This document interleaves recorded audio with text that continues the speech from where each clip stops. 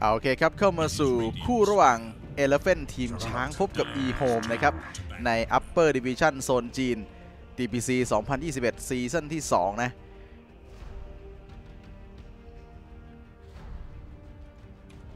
Best of 3นะครับสำหรับคู่นี้ตั้งแต่เปิดแพช์ใหม่มาช้างก็ยังฟอร์มเหมือนเดิมนะครับ คือลูกผีลูกคนนะ ได้โค้ชมาใหม่ ก็ยังยังเฉยๆอยู่ ยังไม่เห็นความแตกต่างจากเดิมเลยนะ ส่วน EHOME นี่พอเข้า patch ใหม่มาก็อาการหนักอยู่เหมือนกันนะครับ ล่าสุดเจอ RNG มาในเมื่อวานซืนนี้วันที่ 16 เมษาก็ 2-1 นะ ไม่ได้ชนะขาดด้วย ก็ถือว่าเป็น 3 เกมที่ค่อนข้างเข้มข้นเลยทีเดียวสำหรับโซนจีในตอนนี้อย่างที่บอกไปก็คือเป็น top 7 แล้วนะครับ ไม่ใช่ top 6 แล้วนะ พูดถึงว่าระดับฝีมือนะ มันอยู่ในระดับพอๆกัน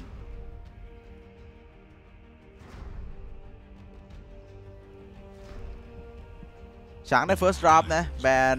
AA Phoenix ไปหยิบ Grimstroke มา top Support ที่หลุดมา แต่จริงๆ AA เนี่ย ก็ไม่ใช่ตัวที่อ่อนเหมือนกันในใน patch นี้ Grimstroke มันดูชัดเจนดี แต่ A มันซอฟต์เคาน์เตอร์ในเมตาได้หลายตัวอยู่ EHOME แบน Beastmaster กับ Centaur เพราะว่าช้างเขาได้ First Pick Beastmaster ตอนนี้คือแบนซะอย่างเดียว หมดปัญหา ถ้าได้ First Pick ก็ไม่ต้องแบน แล้วบังคับให้ฝั่งตรงข้ามแบนแทน แบน 2 แบน Centaur offlane meta ช่วงนี้ ส่วน e-home เป็นมาสรูบิกที่ดูจะจืดๆ คือ Rubick นะ Rubick เป็นตัวเก่งของ Fade เหมือนกับ FY แต่ว่า Rubick ใน patch เนี้ยมัน มันยังไม่ได้ว้าวขนาดนั้นตั้งแต่ patch ที่แล้วละ เลนมันไม่ได้เก่งมันรอ counter teamfight อย่างเดียว ถ้าฝั่งตรงข้ามเขาหยิบฮีโร่ที่ไม่ค่อยคุ้มกับการก๊อปมา Rubick ก็จะเฉยๆมาก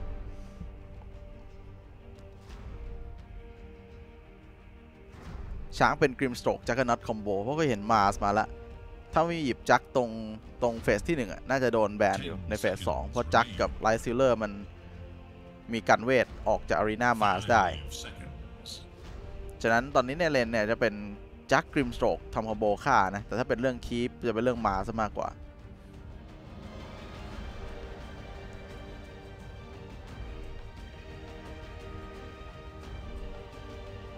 ชาถามบอกว่าทำไมช่วงนี้พิกเริ่มพิกจักเริ่มบ่อยขึ้นจริงๆมันไม่ได้บ่อยขึ้นนะ มันก็พอๆเดิมครับ ในความเห็นผมนะ มันไม่ใช่ตัว top meta แต่ว่ามันก็เป็นตัวที่เคาน์เตอร์พวกต่อ combo skill แล้วก็ต่อ combo มาอย่างเงี้ย Phoenix ใน Lion ทุกอย่างเลยที่มันเป็น spell combo focus ใส่คนทำเกม ไวๆ ต้นเกมอะไรเงี้ย Jugg มันแบบปั่นจบ เออ แล้วแล้วดับไวมากเลย phase สองเนี่ย EHOME เป็น Abaddon Leshrac ก็คือ Abaddon มาชู Leshrac draft ตัวยืนเดินไถ fight ส่วนช้างเป็น Lion Storm Storm Somnus Lion นี่ยังไม่รู้ว่าเป็น sup อะไรแต่ส่วนมากเวลา Grimstroke จะเป็น FY เล่น ดังนั้นก็ ต้องรอดู เพราะถ้าจะเอาแบบฆ่าในเลนจริงๆ Grimstroke ดีกว่า Lion มันไม่ได้ combo Jugg ได้โหดเท่า Grimstroke phase สองช้างแบน Razor แบน Death Prophet แบน Monkey King แล้วก็แบน phase สุดท้ายแบน Troll Warlord ก็แบนพวก carry เก่งเลนออกนะ แล้วเก็บ pick สุดท้ายไว้ให้ offlane ส่วน EHOME แบน Morphling ทางนั้นที่เห็น Jugg แล้ว เพราะคิดว่าตอนเนี้ยคือ Somnus เขาเล่น Morphling กลางได้ ก็คือเขารู้อยู่แล้วว่า lane lane ที่เขาวางแผนไว้จะเป็น Leshrac ซึ่ง Leshrac มันก็แบบไม่ได้ burst ฆ่า Morphling ใน lane Morphling มันก็แบบรีเลือดไปมาเขาเลยต้องแบนไอตัว Morphling ออกแบน Somnus Windranger และแบน Earth Spirit combo Grimstroke phase สุดท้ายแบน Pango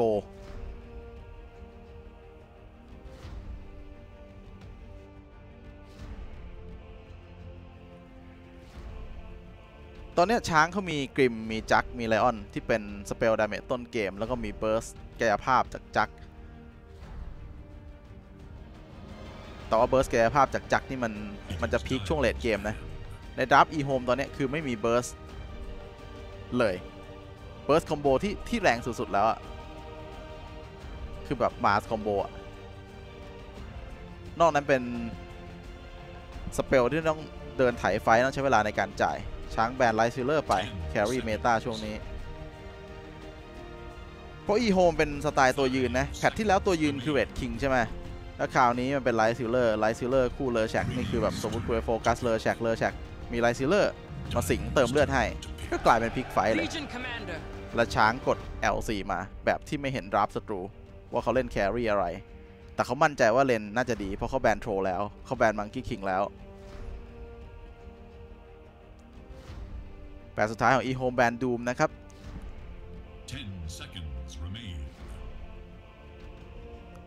ตรงนี้ถ้าเล่นตบเลนก็มี Ursa ถ้าเล่นแบบไค LC ในเลนก็มีดรอเรนเจอร์แต่ดรอเรนเจอร์เกมนี้อาจจะเล่นยากหน่อยเพราะมี Storm Jump Storm Jump มี Storm Jump มี Jugg ซื้อ Shard บวก move speed ได้มี Grimstroke Ink Swell อีก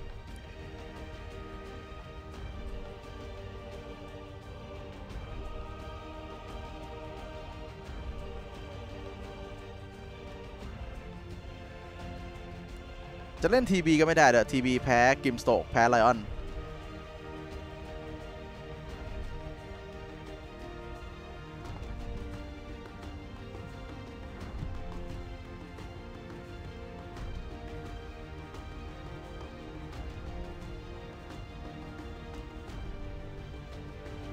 ชัดถามบอกช่วงนี้เฟสบอยไม่มีทีมไหนเลือกเลยเป็นเพราะเมตาหรือเปล่าครับ มันเป็นเพราะมันโดน nerf ไปเยอะครับผม แล้วเกมมันช้า สมัยก่อนมันเก่งเลนนะ ลองคิดภาพสมัยก่อน Faceless Void มันเก่งเลน มัน trade เก่ง มันมีโดดรีเลือด เดี๋ยวนี้คือมันไม่เก่งทั้งสองอย่างละ เพราะมันโดน nerf ไปทั้งสองจุดเลย มีตัวอื่นที่เก่งเลนกว่ามันเยอะ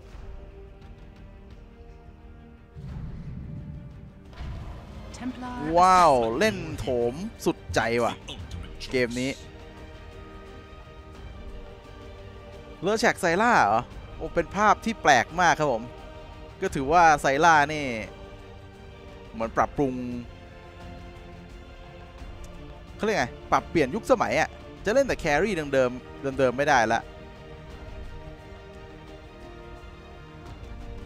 สตอมเลนกลาง มันเป็นตัวฟาร์ม ฉะนั้นมันไม่ทำอะไรเทมปาไอ้ดราฟของช้างเนี่ยเรียกได้ว่าไม่มีตัวไปบุกเทมพลาเท่าไหร่เลย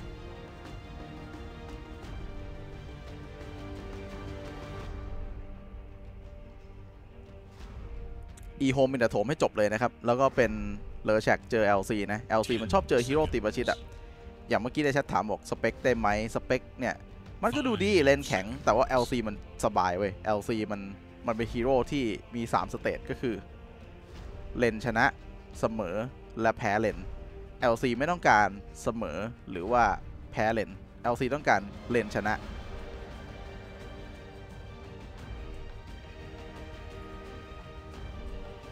LC ถึงจะสามารถดึงพลังออกมาได้มากที่สุด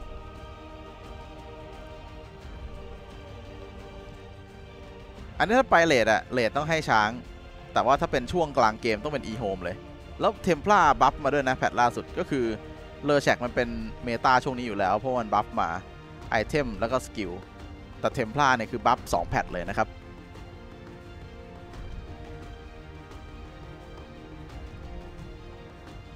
Abaddon ที่หยิบมาก็ถือว่าได้ counter Grimstroke stun counter Lion stun hex ไปด้วย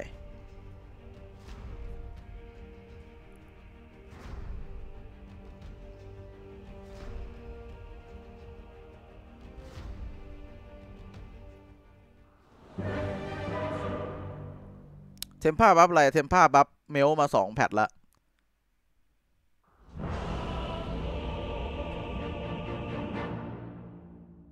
คือถ้าจำใน talk patch ได้ผมผมพูดเรื่องเทม p าไว้อยู่ว่า เออ ผมมองว่าเทม p าเนี่ย น่าจะเป็นเป็นเทรนที่ดี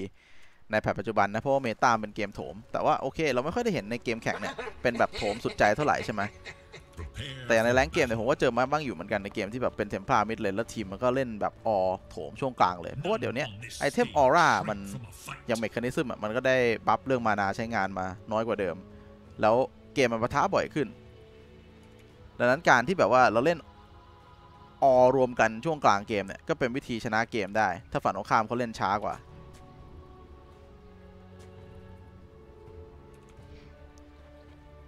ช้างอยู่ Radiant นะครับ ส่วน EHOME อยู่ The Dire นะ แต่ Templar มันก็เล่นบิวไอเทมเดิมนะ แต่ส่วนตัวที่ชอบสุดเลยคือฉากของเทม p ลาที่ตอนนี้มันแบบแค่วาง trap เราไม่ต้องชาร์จเลยกดเอาใบ้ปุ๊บก็ใบ้1.5วิละของเก่ามันใบ้แค่ 0.5 มันเลยทำให้ shard Templar แบบเออดีกว่าเดิมเยอะ30 seconds and counting. แต่เลนบนเนี่ยเป็นเลนที่ไม่ได้ combo เลยนะ ก็คือไซล่าก็ยืนฟาร์มไป ตัว Abaddon ก็แค่ชูไป ตรงนี้มี observe ward ของ EHOME นะครับ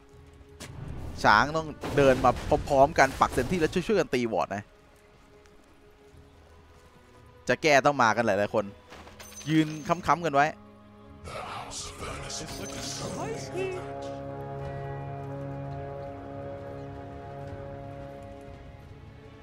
Ten players compete for ultimate. Rubick เกมนี้ก็ก๊อป skill Lion อะคุ้มสุดละ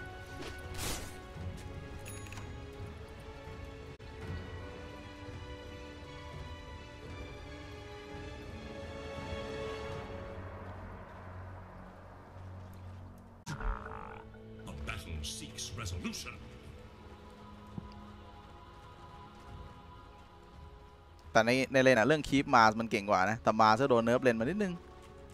damage โล่กับฮีโร่เบาลง เลนกลางเป็น Storm เจอ Templar นะครับ Storm เก่งกว่า Templar นะ ช่วง 3 เวลแรก damage มันดีกว่า damage มัน trade ดีกว่า จะสังเกตว่าทั้งสองคนก็เดินวนตีวนตี trade กันเรื่อยๆ แต่ Somnus ก็ทำดีกว่านะ damage ก็แบบเยอะกว่า armor เยอะกว่า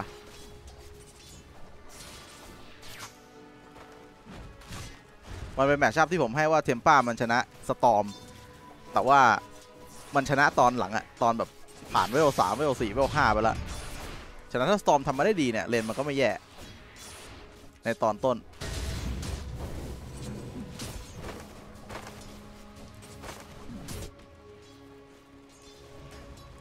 top lane เป็น LC บวก Lion Lion lane นี้ก็ไม่ได้ช่วยอะไรเท่าไหร่ นอกจาก stun ตัดจังหวะศัตรูเฉยๆ ใส่ลาเวลหนึ่งอัพไลนิ่งสตอมมานะครับ เอามาเก็บคีปนะ เน้นคีปล้วนๆ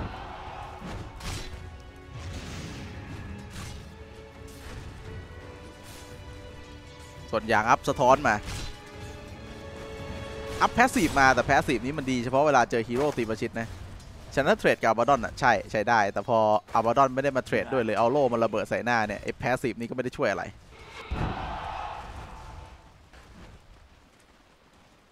แต่เดี๋ยวถ้าครับเพรสเซียแท็กเมื่อไหร่ในเลนนี้ก็น่าจะฆ่ายากขึ้นหน่อย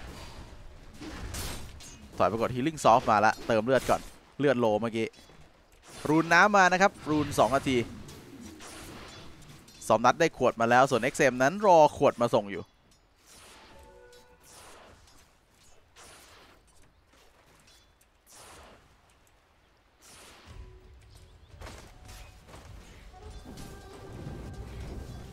ขึ้นในเลนมันทำอะไรกันไม่ได้อะ support ก็เล่นของ support ไป เอาหอก fail ไปหนึ่งช็อตตรงนี้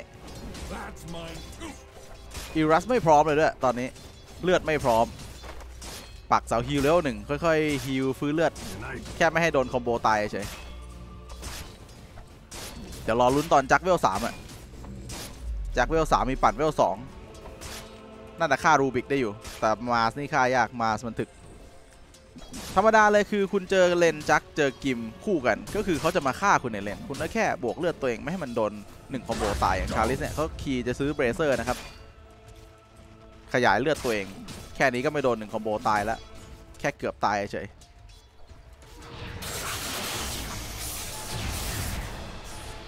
เนี่ย Somnus ทำมาได้ดีนะ score creep 22 ทับ 8 เลยครับ เรียกได้ว่ากดดันช่วงต้นเลนได้ดีมากบรรยากาศเป็นเทม Templar จืดๆละ ได้แค่ฟาร์มเฉยสำคัญมาก lane Storm เจอ Templar เนี่ยสามเวลแรกต้องดีโวเทคตัดจังหวะ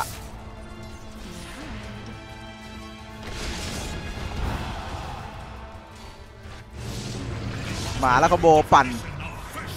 แล้วเลือกเฟดนะครับ เพราะเลือก Chalice ไปก็ฆ่า Chalice ไม่ได้นะ ก็เลยฆ่า support ที่มันฆ่าได้ง่ายดีกว่า Chalice ก็มา trade เต็มที่ เดี๋ยวถอยไปกด Healing Salve Stupendous.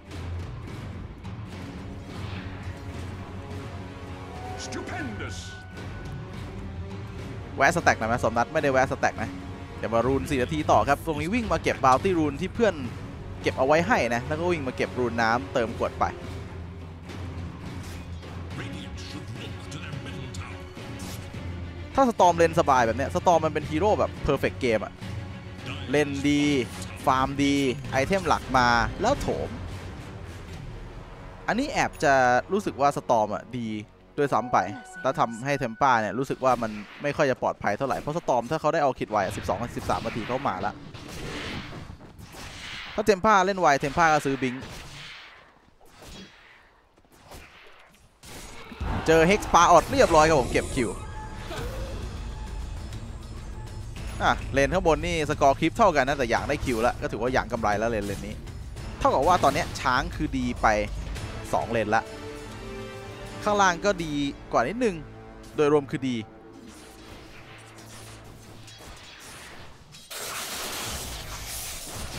แล้วเดี๋ยวพอจบเลนสองนัดก็6แล้ว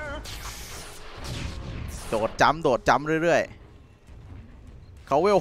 6เขาสามารถ join fight lane ข้างได้แล้วนะ Templar นี่คือต้องต้องฟาร์มจนมี Blink ก่อนถึงจะสามารถไปทำเกมได้ ไม่ได้กลายเป็นว่า timing EHOMEันจะพัง ถ้า Templar แบบของ delay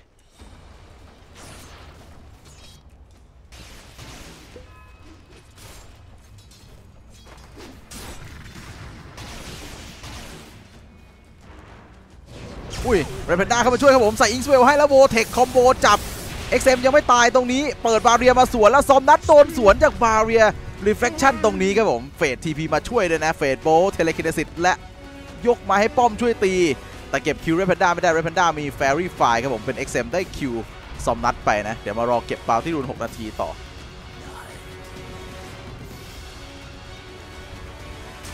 อุตส่าทำเลนมาดี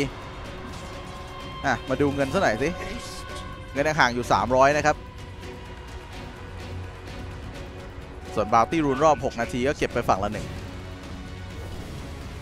จะฆ่าเทมป้ามันต้องฆ่าแบบทีเดียวตายไม่งั้นเดี๋ยวเจอบาเรียสวน เลือดเลืออยู่นิดเดียวแต่บาเรียไม่แตกมันก็มันก็ยืนสู้ได้นะ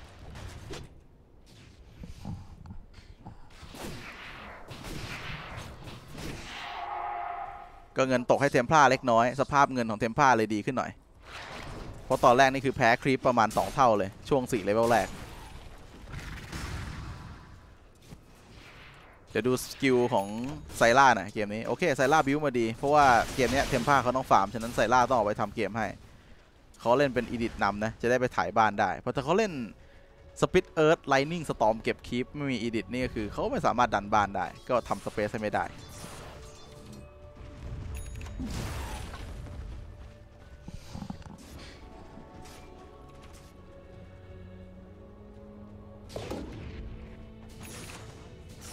โอ้แต่ Somnus เขาไม่ได้ขึ้นบราวูดธรรมดานะเขาขึ้นเป็น Power Treads เลยนะครับ แบบนี้ item หลักของเขาก็จะมาช้าใช่แล้วครับเขาไม่เลือก Orchid เกมนี้นะเขาไป Kaya นะครับ top lane ก็ combo เหมือนเดิมก็คือ stun จัดการทางด้าน XNOVA ไป มันเป็น Storm farm แล้วอะไม่ได้กดดัน Templar แล้ว แต่จริงๆเนี่ยมีออคิดในเกมนี้ไปอะมันไม่ได้กดดันได้ร้อยเปอร์เซ็นต์นะ เพราะว่าอุปสรรคที่ทำให้กดดันได้ยากก็คือมันมี Abaddon ถ้าคุณ jump เข้าไปยัดใบ้ใส่ศัตรูจะ solo kill แล้วเจอ Abaddon มาใส่เลือดใส่โล่ให้ มันก็จะพลิกทันทีมันจะกลายเป็นว่า ซื้อออคิดมาแต่ทำเกมไม่ได้ อันนี้ก็เล่น Kaya ก่อนแล้วค่อยขึ้น Orchid ก็ได้ครับ เพราะ Kaya นี่คือซื้อมาชิ้นแรกเดี๋ยวนี้ไม่แย่ละมันได้ mana regen ปั๊บมานะใช่รู้สึกเหมือนมันกระตุกเล็กน้อยก็ตามสภาพ serv จีนน่าจะแบบนั้น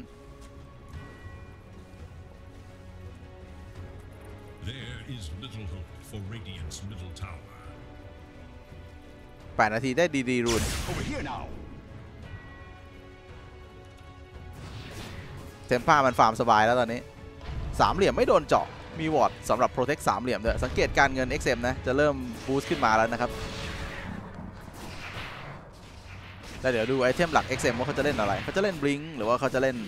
Deso ก่อน แล้วก็ภาพเดิมเลย hex stun combo XNOVA เจอ Duel จับครับผมตรงนี้ปั๊ม damage ไป เอ้ย ไม่ตายใน Duel อะ กลายเป็นใส่โล่แล้วซื้อเวลาได้แล้วเป็น F y ได้คิวครับผม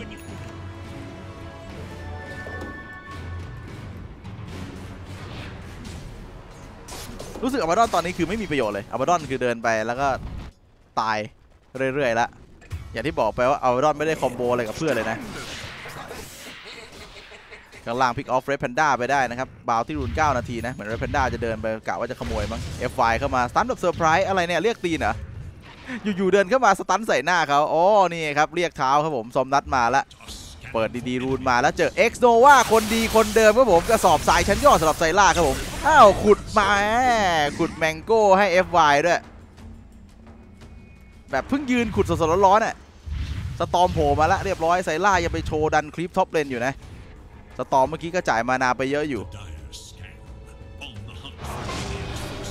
ด้านล่างเรฟเฟนด้าเจอหอกจิ้มเข้าไปครับส่วนอิรัสนั้นปั่นจี้ชาลิสอยู่มีออมมินะออมมิเติมดาเมจเข้าไปครับแล้วหลบสตันของไซล่าอย่างสวยงามสืบสับสืบสับแชร์ดาเมจกันผ่านไปได้ครับตรงนี้ ได้แค่1 kill เท่านั้นส่วน Somnus จัดการ Faith ไป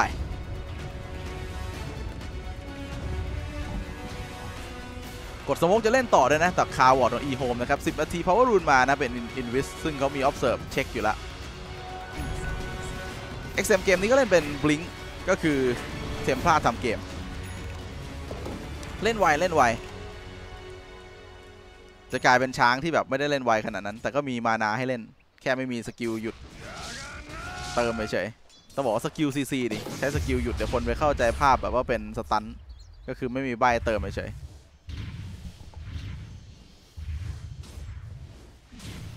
ส่ง LC มาเคลียร์คลิปเลนล่างนะครับ อย่างเขาอัพออดมานะ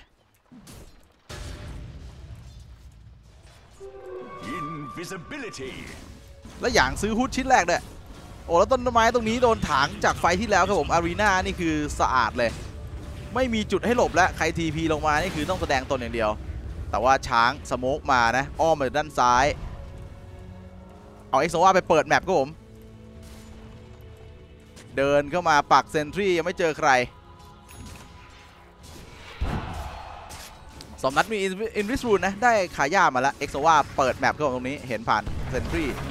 อารีนาแต่โดนเฮกตัดก่อนจังหวะแรกเลยแล้วสตันตามไป โดนก๊อฟเฮกสวนกลับมา อุ้ย ฟิงเกอร์มาครับผมโบเทคจับมันโบเทคสองตรงนี้จากซอมนัดแต่โดนเฮกเฮกแล้วหอกเสียไปพอสโนว่าบูมบับบูมบับซอมนัดล้มครับผมแต่ด้านอิรัสล่ะ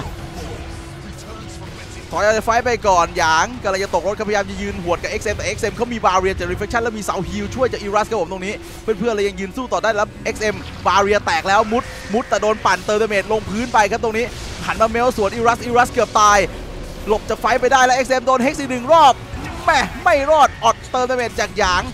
xNova อัลติเด้งไปแล้วนะครับตอนนี้ Yang buff ตัวเองแล้วเดินไล่ตีและแบก team fight ครับผม เขามี Hood อยู่อารมณ์ stun ได้สวยด้วยตรงนี้ Sylar ก็ผ่าน fight ไปได้ครับ มีเอ็กโซว่าปั๊มฮิวให้ ในขณะที่ Juggernaut กลับบ้านไปแล้ว Eurus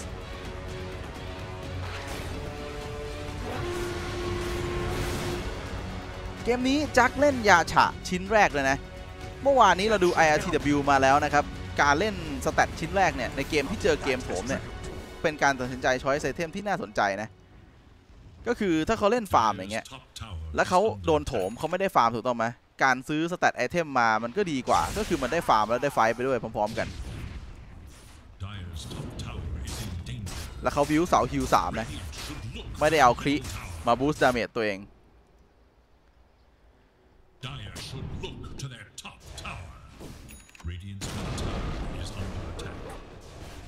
ใส่ล่างก็มี Boots Travel มาละ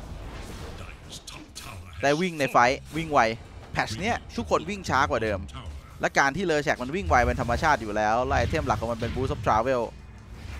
มันก็จะเล่นได้ง่ายขึ้นกว่าเดิม เพราะทุกคนมันโดนลด move speed โดนลด cast rangeต้อง fight สู้กับ Leshrac ตรงๆเอ้ย Somnus ชิ้นแรกเป็น Kaya Sange ครับผม ในบรรดา mid lane โซนจีนเนี่ย เวลาดูแข่งนี่คือ Somnus นี่โคตรจะ 200 IQ การออก item ที่สุดละ Ember Crimson Guard อะไรพวกนี้ Ember Vanguard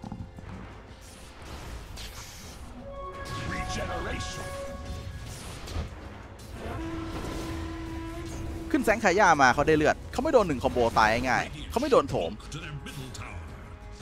นี่คือสิ่งที่เขาคิด อย่างเมื่อวานเนี่ยที่ ILTW ตอน Magnus มาเจอ Secret แล้ว Secret เล่นโถมใช่ไหม ILTW เล่นจักเขาซื้อ Sange Yasha ชิ้นแรกเขาไม่ได้ซื้อ item farm ด้วย เขาคิดแบบนี้เหมือนกันก็คือ Sange ให้เลือดให้ status resist เราไม่โดนหนึ่ง combo ตายฝั่งตรงข้ามโถมไม่ได้จบEHOME smoke มาครับ เจอ Somnus จับยกก่อนแล้วก็ split earth Faded โบยัดเต็มข้อเรียบร้อย Somnus ไม่ตาย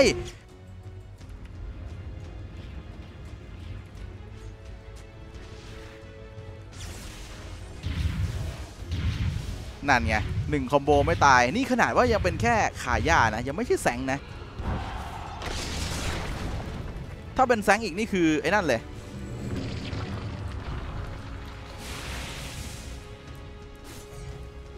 ถ้าเป็น Sange คือฆ่าไม่ได้แน่นอน เลือดชัดเจน ตอนนี้มันเช็คเช็ค damage ได้เลยเว้ยว่า combo ฝั่งของ EHOME เนี่ย damage ประมาณเท่าไหร่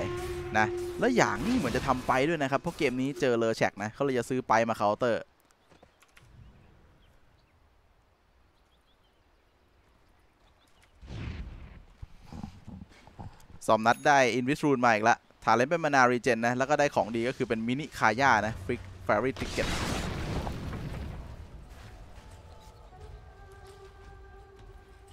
สภาพเกมตอนนี้ผมผมให้ช้างละเพราะเทมพ่าไม่พีคแล้วดูจากสไตล์การออกไอเทมที่ที่ช้างคิดมาเนี่ย คือเขาน่าจะผ่านช่วงกลางเกมไปได้เลย อะ ดู LC ครับ LC ซื้อไปชิ้นแรกเลยนะ ไม่จำเป็นต้องซื้อบลิงครับผม เดี๋ยวฝั่งตรงข้ามเขาจะวิ่งมาหาคุณเอง เออ จะซื้อบลิงไปทำไมอะ เดี๋ยวฝั่งตรงข้ามมันต้องโถมไง คนที่กดดันตอนนี้คือ e home เว้ย เพราะว่าเขากำลังทำไม่ได้ตามทามมิ่งเขารู้อยู่แล้วว่าเขาเล่นดับนี้เขาต้องเล่นออกมาให้ดีแล้วไวและเป๊ะไม่งั้นเขาก็ระเบิดเอง ช้างมันก็แค่คุมแมปแล้วฟาร์มไปเรื่อยๆ แล้วระวังอย่างเดียวก็คือโลชานตัวที่หนึ่ง ที่ต้องระวังไม่พลาดไฟให้เทมป้าได้โลชานไปโถม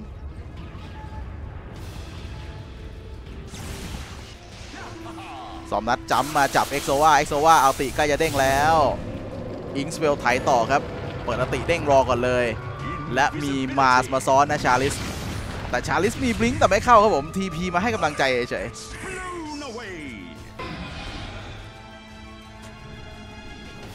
กลายเป็น TP มาทำไมก็ไม่รู้ ตอนแรกนึกว่าจะมาซ้อนแล้วเพื่อนๆก็จะมาซ้อนต่อแต่ก็ไม่มีอะไรนะอ่านี่ครับได้ละแสงคาย่าสแตทรีซิต25%อีโฮมจะเซอร์ไพรส์บิงค์นะอีรัสจ่ายปั่นไปแล้วจังหวะนี้แหละเป็นจังหวะที่ดีมากที่จะเปิดใส่อีรัสครับผมบลิงก์มาอารีนาครอบสามอย่างสวยฟาดโลเข้าไปแต่มีเสาฮิวอยู่ด้านหลังอารีนาครับผมแล้วใครจะไปเคลียร์เสาฮิวนี้เสาฮิวนี้ประคองผ่านไฟไปได้แล้วมีไปด้วยครับผม จากหยางดูเอลจับเฟดเฟดที่ก๊อปทางด้านของเบดฟิวี่มาโดนโดดของจริงจาก สวนหน้าไปแล้วฟิงเกอร์เบิร์สไซล่าออกจากไฟรวดเร็วครับผมตรงนี้ Chalice โดน Overload แปะเรื่อยๆ แปะเรื่อยๆ slow และ Ink Swell ไถ Yang วิ่งอย่างไวเข้ามาด้วย Phase Boots ครับผม แล้วไถน้ำมึกใส่เอ็กโซว่าเอ็กโซว่าแต่ยังไม่เด้งอีก 5 วินาที cooldown จะวนเรียบร้อยครับผมได้ 3 ศพไปกับ fight นี้ และเกมนี้คือเกมของช้างละ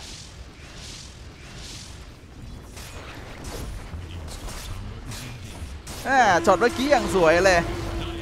คือเข้าใจว่า e home เนี่ยเห็นจักจ่ายปั่นไปแล้ว e home ก็ต้องอยากเปิดตอนนี้ เพราะนี่คือช่วงเวลาที่จักอ่อนแอ แต่จักมีเสาฮิวอยู่ข้างหลังไฟ แล้วมีไฟครับผมซอมนัดโดนสไปจับหนึ่งชุดแต่ไม่ตายถอยเอาไว้ได้ก่อนตรงนี้รีเซ็ตครับผมซอมนัดมานาเลือดหมดแล้วนะ TP กลับก่อน มีใครตกรถไหมไม่มี 14 ต่อ 4 ครับผม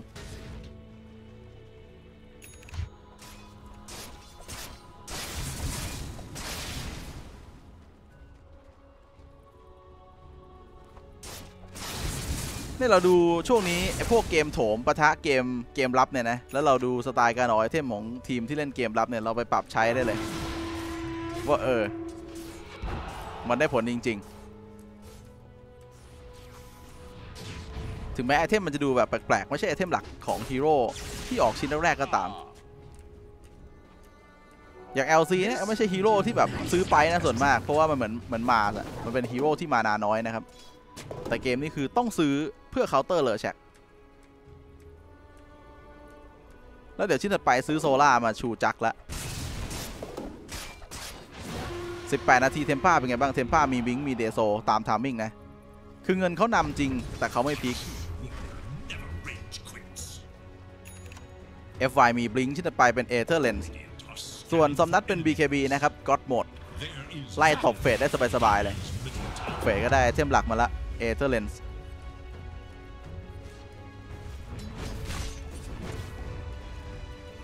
ผมให้ว่าตอนนี้คืออีโฮมอะยืนถ่ายไฟไม่ชนะ คือขนาดยืนถ่ายไฟสู้กันตรงๆ เขาติดไปเขาติดเสาฮิว จะให้เบิร์สวัดก็ไม่ชนะเหมือนกันอะจะเซอร์ไพรส์ครับผมเห็นจักออกมาโชว์เลนแบบนี้เอาลองหน่อยไหม แต่ว่าไม่เอาครับผมกลายเป็น Sylar TP กลับแล้ว อุตส่าห์มายืนกันข้างบน 3 คนนะตอนแรกแบบเอ้ย เห็นจักโชเลนเจ้าหน่อยไหมไม่ครับผม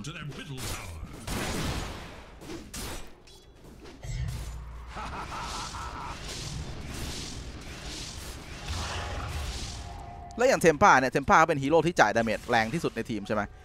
แต่ว่าถ้าเข้า fight ปุ๊บแล้วอย่างเนี่ยโฟกัส duel Templar ให้ Templar มาตีตัวเองแทนที่ไปตีพวก support ตัวบาง EHOME ก็ไม่มีภาพนะครับ Dire shall ที่จะไปฆ่าพวก support ตัวบางแบบ Lion Grimstroke ได้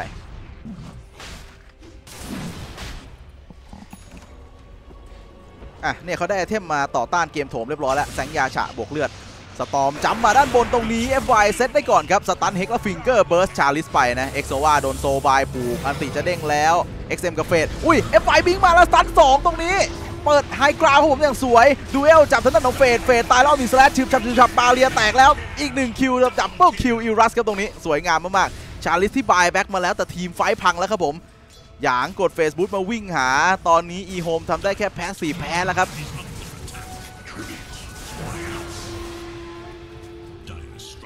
เท่าที่เข้าใจคือตรงนี้เขาไม่มี observe board นะ เหมือนเพิ่งจะปักเหรอ เมื่อกี้หรือว่าปักมานานแล้ว เมื่อกี้อาจจะแบบ บล็อกพอดีน่าจะมีวอร์ดอยู่มั้งเพราะนี่มันอยู่มานาทีกว่าละตอนแรกเข้าใจว่ามันมีวอร์ดเพราะว่าฮีโร่มันทับวอร์ดอยู่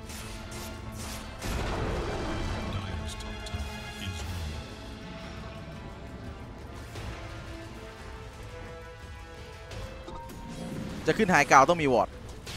Lion สวยเลยช็อตเมื่อกี้ แล้วดู Somnus เปลี่ยนจาก BKB แล้วครับ ไม่ใช่ BKB ดิพูดผิด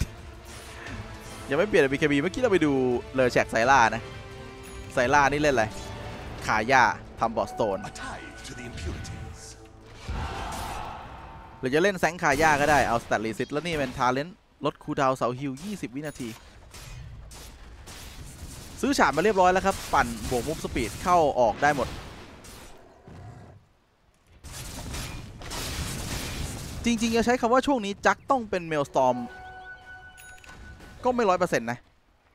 อันนี้มันเหมือนเกมที่ ILTW เล่นเมื่อวาน ผมพูดถึงย้ำบ่อยมาก เพราะมันเห็นภาพชัดเจนว่าเล่นเกมรับสู้เกมโถมยังไงเรื่อง item ถ้าเราซื้อ Fury นะครับ เราต้องซื้อชิ้นแรกสุดเลย เพราะว่า Fury อะมันให้ boost farm ระยะยาว แต่ว่า Maelstrom เนี่ย มันให้ boost farm ระยะสั้น เพราะมันถูกกว่า Furyการซื้อ Maelstrom อะคือการที่เราซื้อมาปุ๊บ แล้วเราจะรีบเร่งซื้อ item หลักชิ้นถัดไป ให้ไวกว่า Fury ถ้าคุณจะเล่นไวคุณต้องเล่นแบบนี้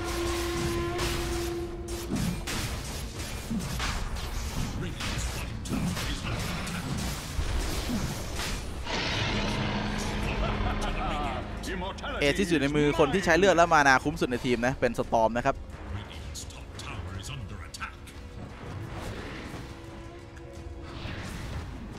เขาน่าจะลองลองฝืนๆต่อจนกว่า XM จะมี BKB ถ้า XM มี BKB แล้วก็ยังไม่ได้ไฟท์ก็ ยังไงก็แพ้อยู่ดี Haste. อะ นี่ครับ Radiant are ซัพพอร์ตกริมสโตกซับ5ครับผม Radiant's ไม่มีใครซื้อเมคคานิซึมมาเป็นชาติเศษแล้วทุกคนเล่นเอเธอร์เลนส์ไอ้นี่ซื้อเมคคานิซึมเพราะอะไร เรามีฮิลเรามีเมคครับผม top tower is เม under ค attack. 275 Tower has fallen. เรามีไปกันเวทอีกรวมแล้ว negate damage ประมาณ 700 ต่อคน ยืนกัน 5 คนก็กัน damage ประมาณ 3,000 กว่าๆแล้ว เกือบ 3,500 แล้ว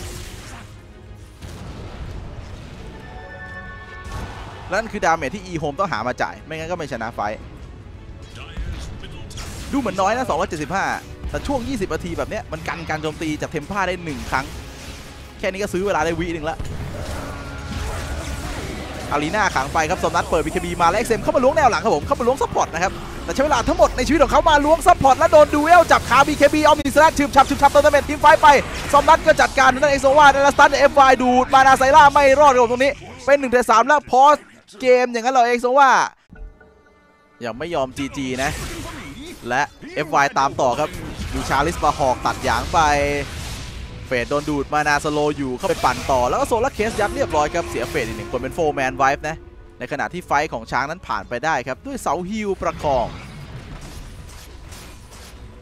มันได้แค่ล้วง support เพราะว่าเวลาเล่นรวมๆกันอย่างเงี้ยมันต้องอยู่ในระยะที่เพื่อนช่วยได้ แต่ support มันอยู่ท้ายสุดของ fight ใช่ไหมเพื่อนได้เข้าไปแล้ว Templar เลยฟรีกลายเป็น Chalice เดินมามอบ team wipe ให้กับทีมครับผม 22 ต่อ 5 ครับตรงนี้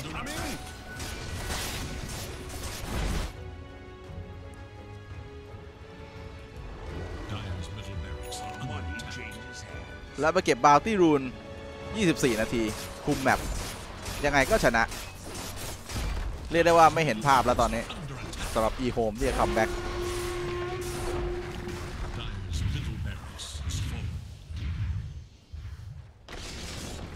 ช้างเขาเล่นแค่แบบคุม map แล้วอะรอเวลา EHOME กด GG ครับหลังจากนี้เป็นช่วงทรมานแล้ว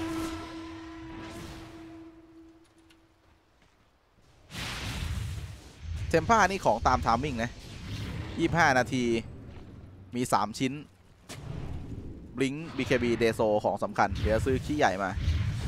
เอามาล้มตัวยืน แต่ Jug อะมันไม่ต้องยืนสู้ตรงๆนะ Jug มันแค่โดดใส่ อยากซื้อ Sange มาอีกคนหนึ่งครับ เลือด2,600แล้วตอนนี้อาแก้ง่ายสุดเลยคือซื้อฮาวเวิร์ดเคาน์เตอร์เทม p าเทม p ากด BKB เรากดดูเอล BKB เทม p าหมด เรากดฮาวเวิร์ด GG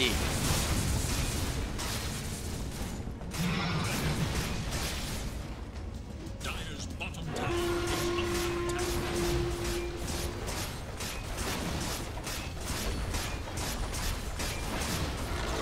และสมนัดเพิ่งจะมาซื้อใบในชิ้นที่ 3 นะ Chalice มี blink มี arena ครับผม เดี๋ยวรอดูอิลลัสวางเสาฮิวด้านหลังอะวางเสาฮิวด้านหลังแล้ว ใครจะเข้าไปเคลียร์เสาฮิวดีครับผม เข้ามาเปิดเลยเต็มที่ แล้วเขาเล่นลด cooldown เสา heal เขาจะมีเวลาที่เสาฮิวอะใช้ไม่ได้แค่ 15 วินาที มันอยู่ 25 วิ cooldown 40 เสา heal หมดครับเราออกมาก่อนเรารีเซ็ตไปทำคลิปรอ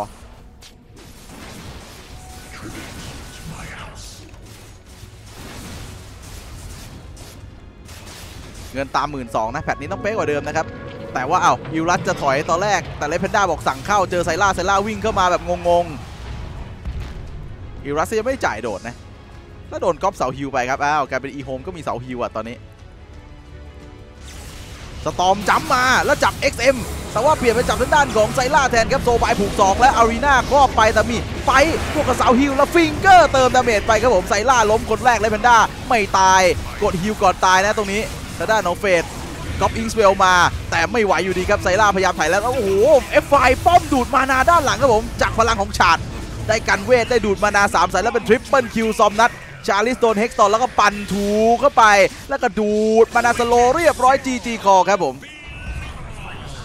ทำได้เหมือนเดิมเลยคือฆ่ากริมสโตกนั่นคือคนที่ฆ่าง่ายที่สุดแล้ว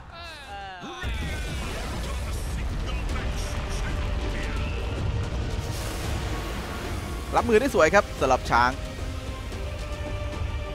อาจจะเป็นเพราะว่าช้างมันชอบเล่นเกมโถมก็ได้นะเออช้างมันชอบเล่นเกมโถมอะพอมันแบบเจอเกมโถมมันเลยแบบโอ้โอเค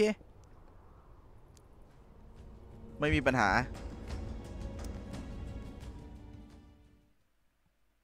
จุดเด่นของ e-home ในซีซั่นที่ผ่านมา เอาไม่เอาใน DBC เพราะว่า DBC มันจืดก็คือในช่วง ทัวร์สมาคมเนี้ยมันคือเรื่องของ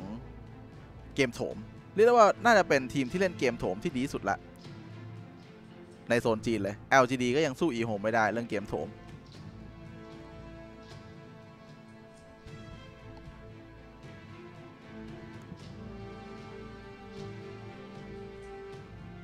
แต่พอเปิดแพทใหม่มานี่ ไม่รู้ดิ โถมของ e-home มันเป็นอะไรก็ไม่รู้ โถมของ e-home นี่คือแบบไม่เหมือนเดิมนะครับ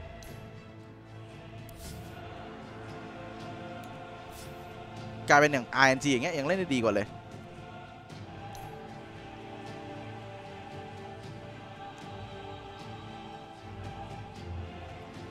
เกมนี้ช้างไฟสวยออกไอเทมดีหลักๆ ที่เห็นได้ชัดเจนเลยคือการออกไอเทม